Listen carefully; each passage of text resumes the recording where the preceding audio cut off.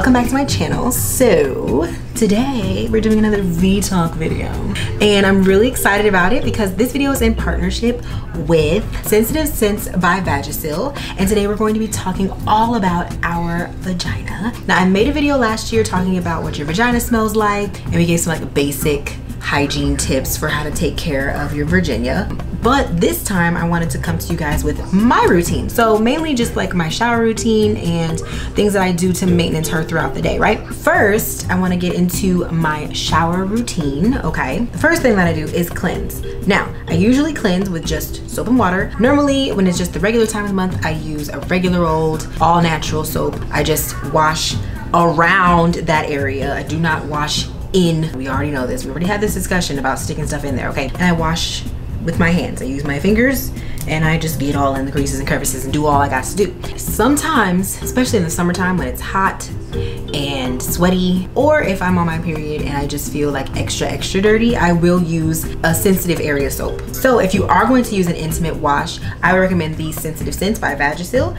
This is a wash that is infused with scent, but it's gentle for sensitive skin. So if you like to smell good, but you don't want to compromise your skin by making it irritated, this is a good one because it doesn't have any dyes, parabens, preservatives, it's hyperallergenic, it's pH balanced, it's got vitamin E in it, it's dermatologist and gynecologist, gynecologist, what? Gynecologist tested, so it is fine to use on your area. So like I said, do not put this inside inside. Okay just use it on the outside um, just to give you a nice fresh scent. Okay this one is the white jasmine scent and she smells great.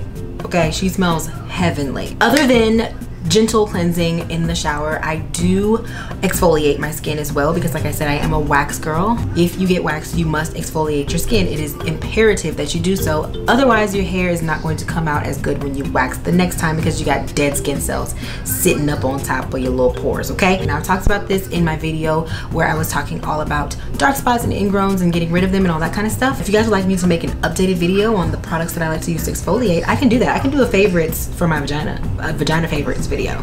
That can happen, okay? I believe in exfoliating, the power of exfoliating pre and post waxing. The day you get waxed, you do not want to exfoliate that day. Your skin's already been opened up and and she's hurt a little bit so don't don't overdo it the days after once your hair starts trying to grow back out you're to want to continue to exfoliate so you don't get ingrowns um, but the week before i get waxed like every single day i'm exfoliating because i want to make sure that hair comes up good okay i typically don't use a lot of moisturizers in that area because your body creates and generates its own moisture you typically don't need to add anything down there as far as lotions are concerned.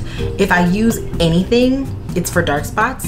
And what I do recommend is aloe vera gel and shea butter. Very on very rare occasions, I'll put some type of moisturizer or something just because I know that that area to for me it doesn't get dry. Those lips don't get chapped. These lips do that one doesn't. I do use scrubs that are moisturizing so maybe that's why I don't know but I typically don't put coconut oil or don't put coconut oil down there. Don't do it sis because you will get ingrowns. Like coconut oil will clog your pores okay? Like I said I don't typically need anything down there to make her soft and and, and moist. She does that on her own. You guys ask me a lot of questions about what to do before and after sex. As far as hygiene goes, it's very, very, very, very, very imperative that before I do anything, I'm clean, and after I do anything, I'm clean. If I don't have time to hop in the shower and do my whole routine beforehand, typically I do.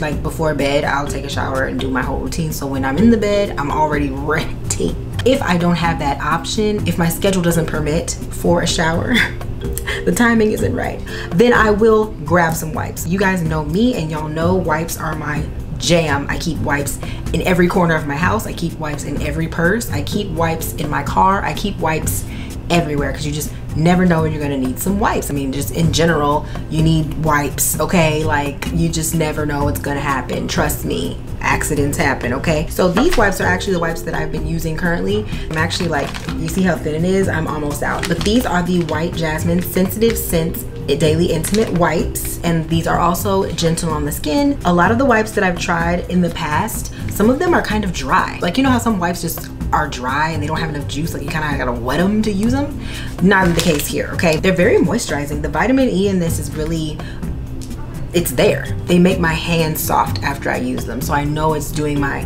vagina good, okay? These wipes are always in my bathroom and I use these typically right before things happen and right after things happen.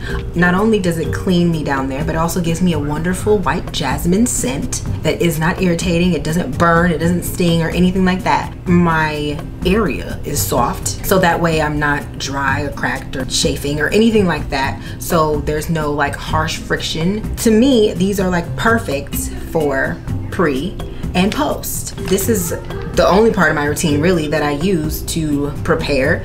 Um, like I said, unless I have time to take a shower and then I do my routine.